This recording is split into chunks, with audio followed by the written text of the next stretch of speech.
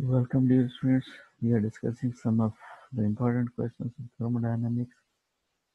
And now another question, when the object is heated,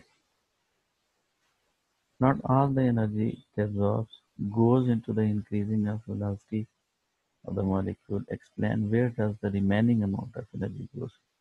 So look at what the total amount of uh, total energy of a molecule is given by this is basically kinetic energy plus potential energy.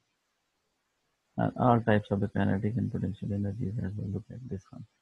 Kinetic energy is kinetic energy of rotation, translational, rotational, and vibration of the molecule plus the potential energy.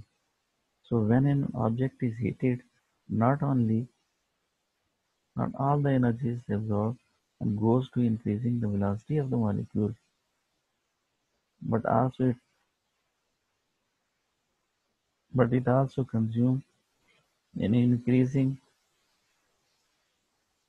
the rotational kinetic energy, vibrational kinetic energy, and potential energy of the molecule, which rushes, which causes change the volume of the object, which causes to change the volume of the object. So this is the reason where and when such amount of energy is used, when the object is heated, not all the energy is absorbed goes to increase the velocity of the molecule. Explain where does the remaining energy go? So here is the answer. Total amount of total energy of a molecule is given by this total energy is given by the kinetic energy plus potential energy. But kinetic energy is not a single. This kinetic energy is translation of kinetic energy. Molecules also rotate rotational kinetic energy. At the same time, molecules of the gas also vibrate, or the material also vibrates. So that's why it will be vibrational kinetic energy and then potential energy. So this amount of energy is converted into different types of energy.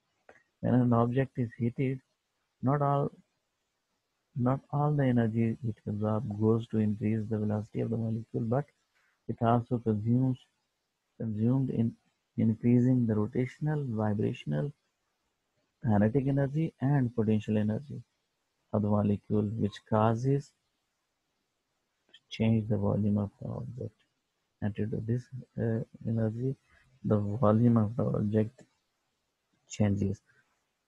So that's why the amount of energy is not only used to increase the velocity of the molecule so it is used in different ways.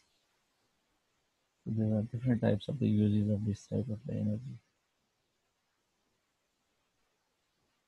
thank you very much for your attention